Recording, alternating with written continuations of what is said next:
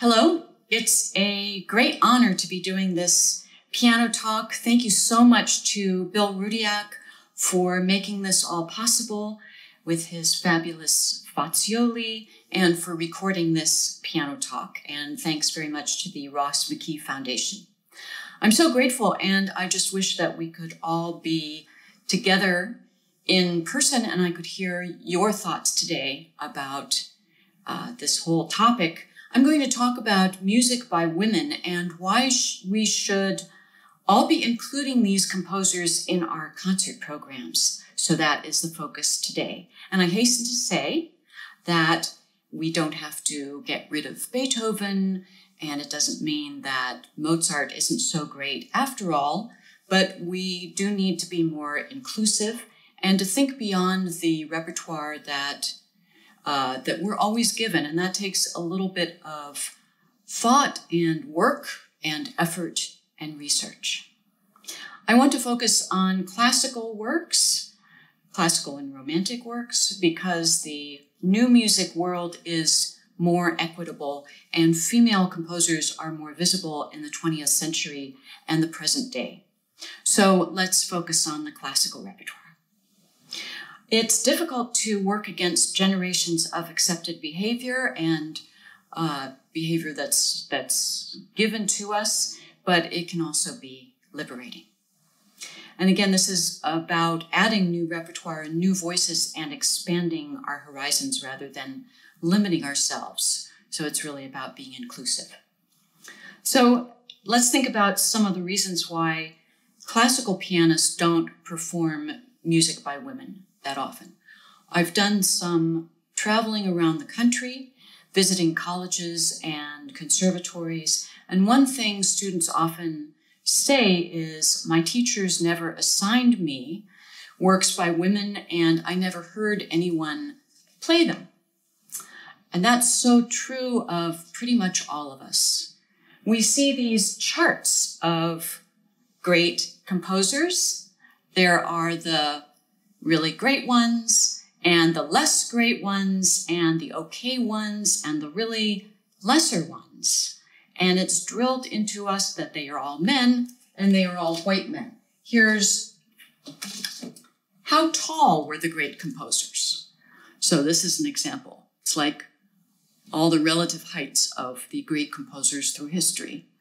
Uh, it's, it's an interesting chart, but they all look pretty much the same.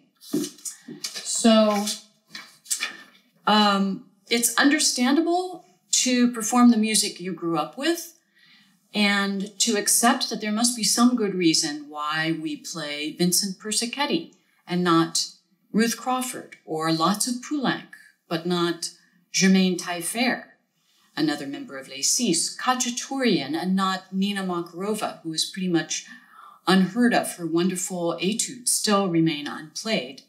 But then it's up to each of us to consciously think to ourselves, what do I want to do as a musician or as a teacher?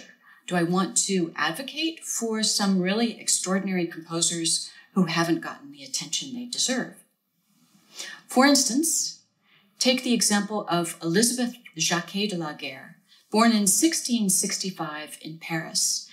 Prodigious talent, brilliant harpsichordist as well as composer. She composed opera, ballet, chamber music, vocal music, and at least six keyboard suites. So just imagine a world in which we don't talk about French Baroque keyboard composers like Couperin and Rameau and others. And then, oh, by the way, there was a woman who was a pioneer in keyboard suites. She's over there. The French Baroque composers are over here. Here's Elizabeth Jacquet de la Guerre, but imagine if we integrate her into the mix and really give her her rightful place in music history. So I'm going to play four movements of the Suite in D minor by Elizabeth Jacquet de la Guerre. And I'm leaving out several uh, important movements, but for the sake of time, um, we'll hear the prelude, the sarabande, chaconne l'inconstant, and it means inconstant chaconne, and so sort of uh, moving between major and minor in interesting ways, and then the gigue.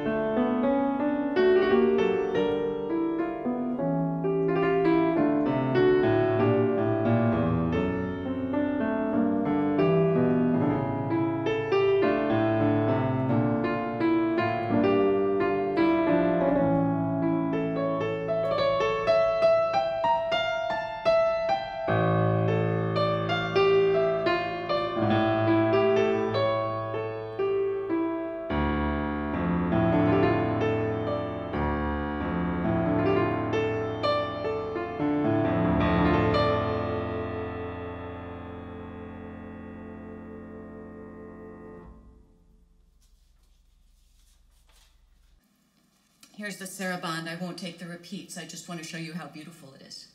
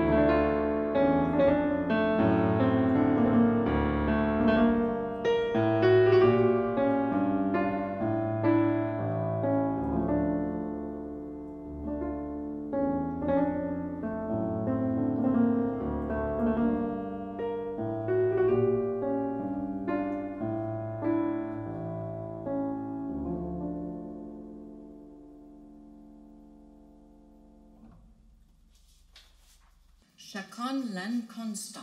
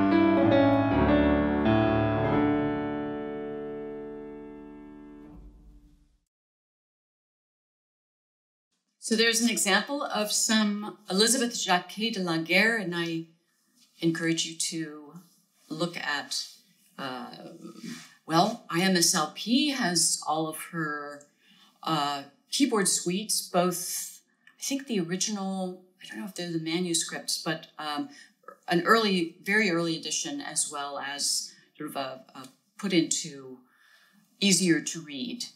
Um, print. So uh, Elizabeth Jacquet de la Guerre. And I wonder, what if we lived in a world in which Andras Schiff, when he went on tour, played just one piece by a woman? What if Murray Perahia, Martha Argerich, Igor Levit, Lang Lang, Jeremy Denk, Angela Hewitt, Richard Goode, Mitsuko Uchida, Daniil Trifonov, Yuja Wang, Jonathan Biss. What if any one of them played just one work by a woman, just one composition written by a woman? Just think what a tectonic shift that would be. So even if we can't wait for that to happen, we can all begin in our own way. Another argument I hear even now is that women just aren't as good composers as men. Uh, I still hear that today, whether it's that they lacked education or opportunity or are somehow just missing the composer gene.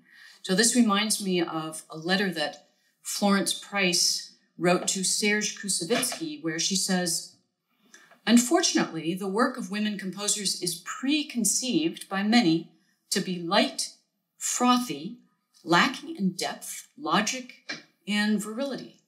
She says, I ask no concessions because of race or sex, and am willing to abide by a decision based solely on the worth of my work. So she's just asking him to look at her scores and listen without judging beforehand. And that to me is a very important reminder.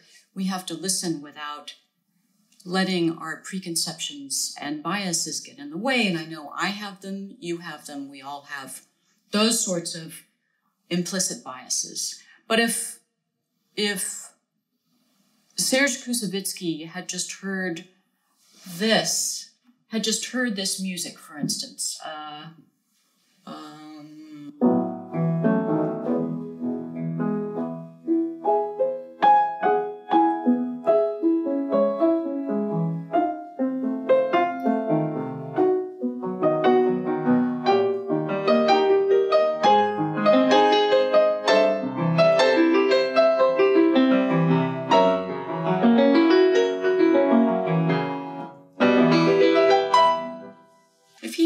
heard that, would he have thought that's the work of a woman? It's light and frothy and lacking in depth, logic, and virility? I don't think so.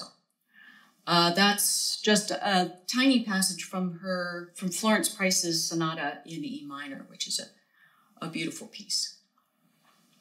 So um, this brings up the Mendelssohn family, two gifted young composers, Felix and Fanny Mendelssohn, and one is encouraged to be a composer, and the other is told that she should manage the household and have children, and she can dabble in composing, but publishing would be unladylike. Her own brother said of her, From my knowledge of Fanny, I should say that she has neither inclination nor vocation for authorship. She is too much all that a woman ought to be for this. She regulates her house and neither thinks of the public nor of the musical world nor even of music at all until her duties her until her first duties are fulfilled Publishing would only disturb her in these, and I cannot say that I approve of it. But of course, there is the famous story of Felix Mendelssohn taking his songs to Queen Victoria at Buckingham Palace, and she chooses her favorite to sing, and they actually turn out to be by Fanny Mendelssohn. I'd like to do an experiment with blind listening. I had a great English teacher at Berkeley High School named Mr. Kennedy, who would give us two sonnets, one by Shakespeare and one by a lesser Elizabethan composed uh, Elizabethan poet, and he would cover their names. So we couldn't think, oh, that's Shakespeare, and so that has to be much better. And we would have to make a persuasive case just based on the sonnet itself, which one was better. So now we'll do the same thing with the opening bars of two Mendelssohn pieces, one by Fanny Mendelssohn, one by Felix Mendelssohn, and you tell me which is which and which one is better. And I know it's unfair to do this based on just a few measures, but uh, let's give it a try.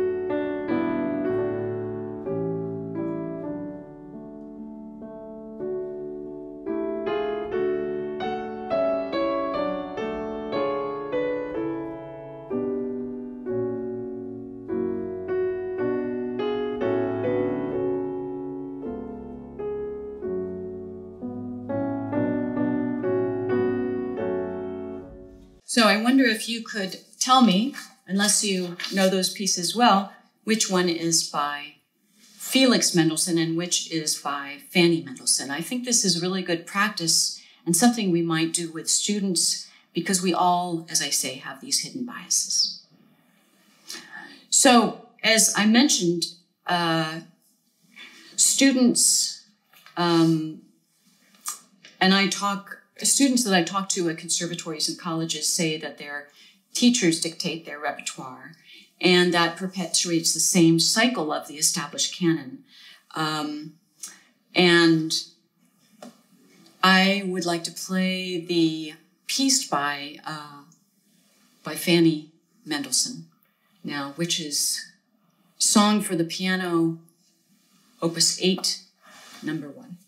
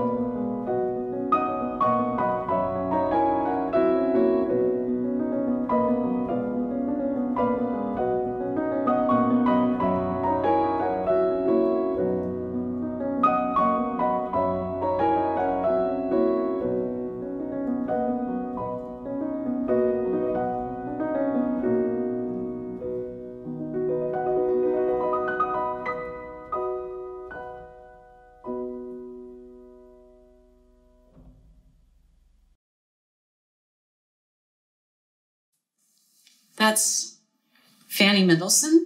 And um, so I was saying about uh, students talking about how their teachers dictate their repertoire and uh, and they accept that established canon. And the problem is that then the cycle continues and students go on to become um, musicians and teachers and teach and perform that same repertoire that they're given. Uh, and one young man I met, a freshman, said to me, Well, Clara Schumann and Fanny Mendelssohn were only famous because of the men that they were connected to, because they were connected to famous men. And I said no, that in fact, I think that their reputations really suffered because they were overshadowed by those men. So I think these are all really valuable conversations to have and uh, introducing those those topics because it's it's time to do it. Um, another argument I hear often is when conductors and pianists and musicians are putting together a season, they often say, I just want to perform great music and not worry about gender and race. Um, music is universal, it transcends those sorts of um, issues, and it's not about identity politics. But the result, as we know over and over, is that we have yet another season of all male, all white male composers because those conductors and pianists and musicians prefer, and chamber ensembles, prefer to look no further than the accepted canon. And uh, there are season announcements coming out now, and I, I'm amazed. I'm amazed. It's 2020, and it's, uh, we look at these season announcements, it's like, are you not seeing this? Are you are you not seeing that you are, you know, we don't live in that in that world anymore. Um, it doesn't reflect the world that we live in.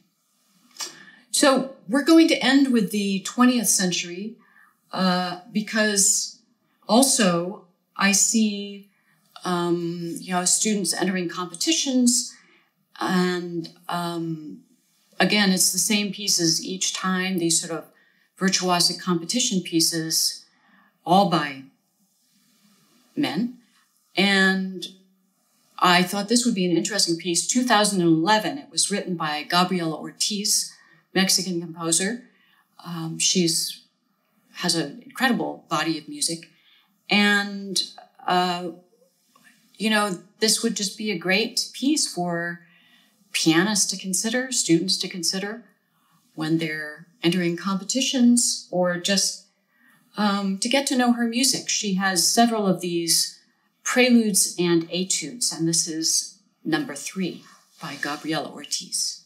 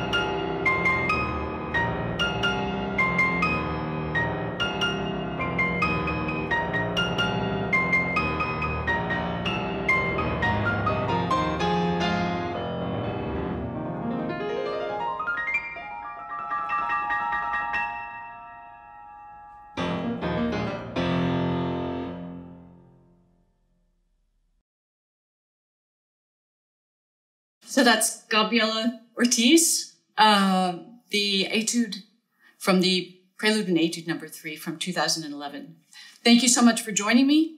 Thank you again to the Ross McKee Foundation and to Bill Rudiak. And um, it's been a great pleasure. Thank you.